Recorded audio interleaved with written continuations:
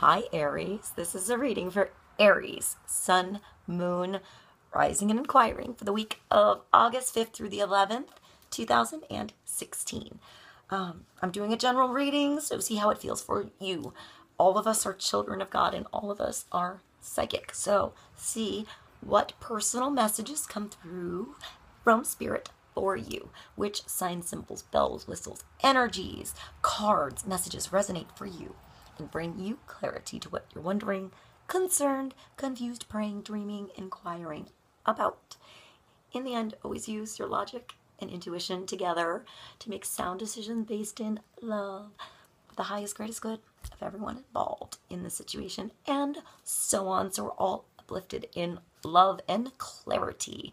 Um, I want to say joy and peace and everything awesome.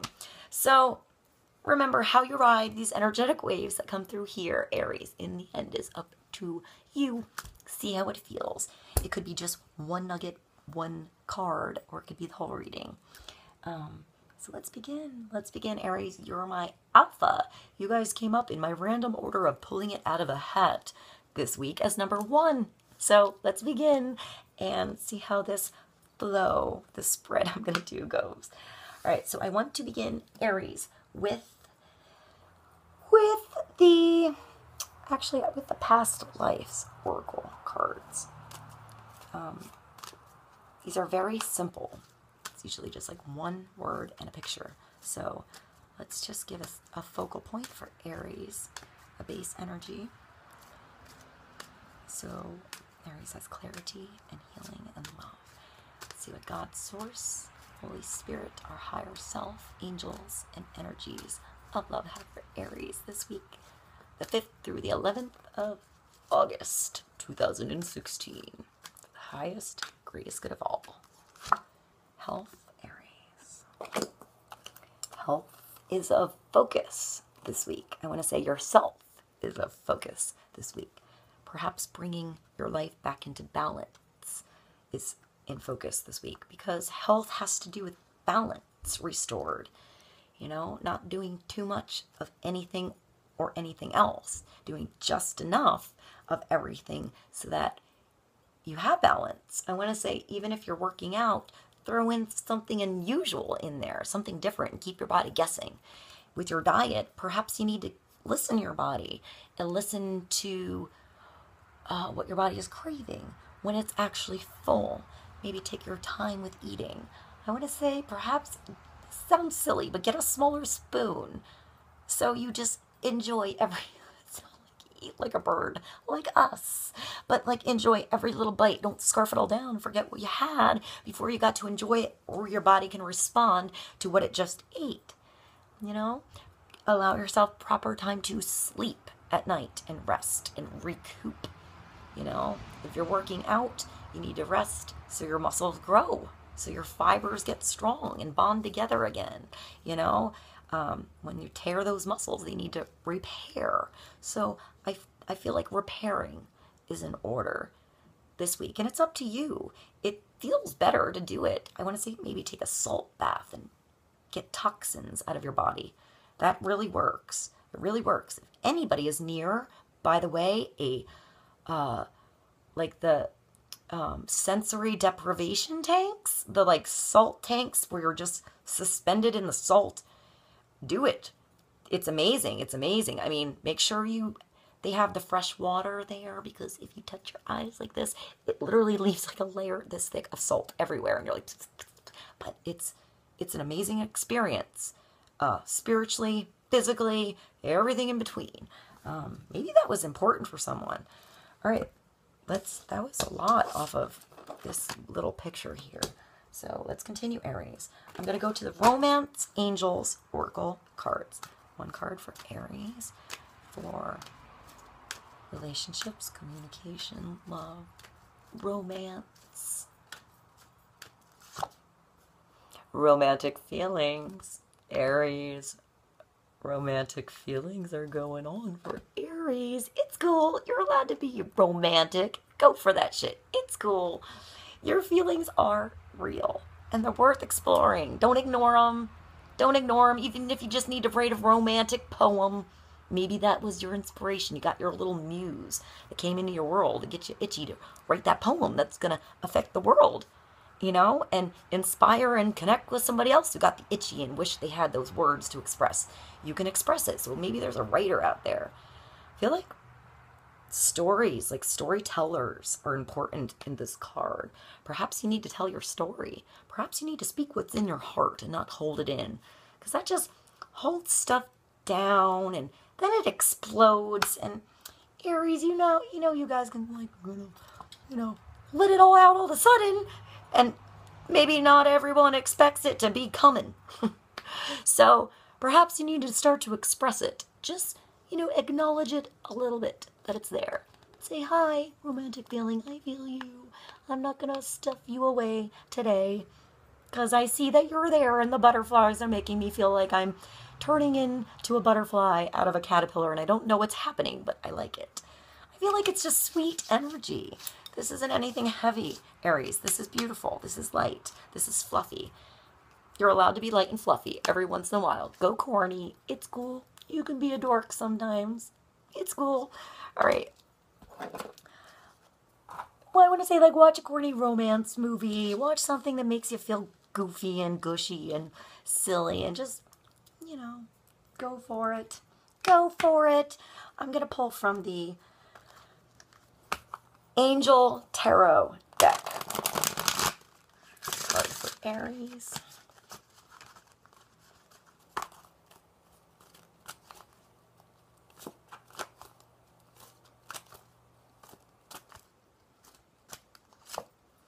The Knight of Air, Aries. So, lots going on in the head or this is an air sign around you. So it could be a Gemini, Libra, um, Gemini, Libra, Aquarius energy. Um, but it can just be this personality, this type. It's somebody who, I would say this is you too, Aries. I mean, even though you're a fire sign, Aries are totally intelligent, decisive, maybe not always decisive, maybe not always. You're good when you make a decision. Idealistic and tireless. No, you're decisive when you want to be. When you want to be, you totally are. But you have to have that clarity of mind or that passion in your ass. Just go for it. Um, so this is events that occur with great, it's a knight. So this means information, it's something happening. It doesn't always have to be a person, although it can be a younger air sign energy, or it's that younger male like knight getting on his horse and going for a mission. You have a mission and you want to go for it. You have something that came, something that sparked, some light bulb that went off in your life, and you just need to get on your horse and go for that. So it's events that occur with great speed. Take time, Aries, to carefully review your options and get creative solutions. So I want to say sometimes things rush into our life pretty fast so that we're quick on our feet, so that we're sharp, so we have that uh, street smarts, whether it's in our spirit or our situation or, you know, communication, wherever street smarts is involved, it comes up on a whim and it's instinct. And you guys have that. You guys are able to just turn on a dime and handle a situation like that because your instinct is right there. You're not afraid to just go for it. So, I want to say maybe you've been afraid to go for it. Maybe there's, maybe this is an air sign around you. It could, the knight could be a male or a female, a guy or a girl, you know, a man or a woman. But it's someone that uh, has a, a slightly younger energy with how they go about their business. They're not thinking so much when they go about it. So it's part, you have to look at this both ways in a general reading. So don't rush into something you're not sure about but trust when you go in that you can handle it as it comes. Or trust that when situations come to you, if you're on the other side, if this knight is coming to you, trust that you can just handle it. You can handle it. You're the warriors. You can handle anything that comes to you. So if it comes to you and it seems like you're stuck, use your creativity. Look for another way out. Sometimes when that monkey wrench is thrown in, it, it gives you a different you know, it opens your path a little bit, bless you, so you can see another door out you didn't see before. So use your mind to tap into your creativity this week rather than get overwhelmed by the situations occurring around you. Use the situations going around you to tap into yourself, to get yourself on your horse and get out in a better way, to see above the situation, to see the bigger picture. I want to say to have some magic in your world because he's riding a unicorn. This isn't just a normal horse, it's a magical horse. And unicorns come to those who have integrity, who have truth of heart, you know. So you have this magical being, spirit working for you when you're tuned into this beast, when you're riding it and you become one with the beast, when you're on a horse, you become one with the horse. The horse feels everything that you do. There's not a power struggle, it's a working together thing. So I see you working together, your heart and your mind, your body and your soul, in this card. I didn't even get to your tarot cards yet. All right, let's continue Aries. I have the medieval Scampini here. Let's do two cards from this deck for you guys.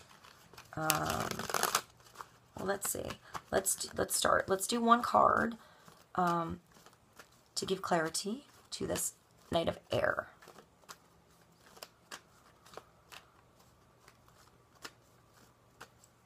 I see the wind just completely rushing behind him. And you're like dancing into the future. It's a happy card. It's an intense card, but it's happy. There's there is a lot of creativity in this card. Right? One card to bring clarity to the Knight of Air. That's the Sun, Aries. So be yourself. Find truth. Find your truth. Ride into truth. Um, ride towards what makes you joyful, what makes you want to wake up early and do more of because you're starting to grab your opportunities. Grab the sun when it comes out, you know? Allow yourself to be like a child. Also, focus on children in this card. You know, dance like a child on your horse. Look at these horses here. You're connected to nature. With this, you're connected to your mirror. You know, your higher self, your lower self the inner driver, the outer driver, you, your twin, you, your brothers and your sisters on this earth. It's that beautiful reflection in everyone else seeing you for the beautiful child of God you are, Aries. And you're allowing others to say, You're awesome. And Aries, you're going to say, Thank you. I kind of know it. I am awesome, but you're awesome too. You know, it's that beautiful, honest reflection coming back.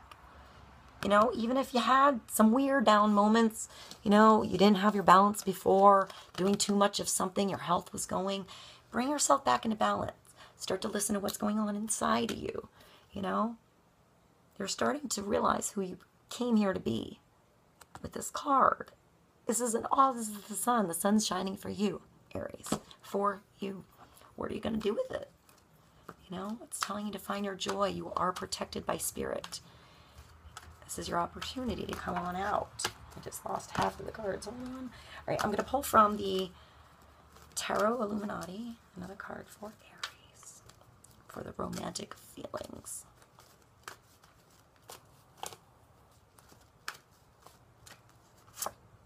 So Seven of Pentacles. So I feel like you've maybe been writing poems. This is really weird. I feel like you have had these romantic feelings and perhaps you have been writing some poems and you, you didn't need my inspiration in that. Or, you know, they're right beneath the surface. You're planting these seeds and you're waiting for them to grow. You worked really hard for something here. You put your soul, you put your heart, you put your hands in the freaking dirt. You're grounded and you're waiting. It's spirit. It's a seven. It's change. It's change in what you're growing. It's making sure the seeds you plant come out and are fruitful. And in this card, they're all around you. They're ready to fall off the tree soon. So start by exploring. Don't push a situation too hard. Allow it to grow. Allow it to unfold. Allow the seasons to change. You know, everything comes into our world as it should. Learn to um, say, like, garden your surroundings that you have and work with the tools you have and know that this is going to grow and you're going to live in this abundance just for you. So explore yourself, be yourself, make a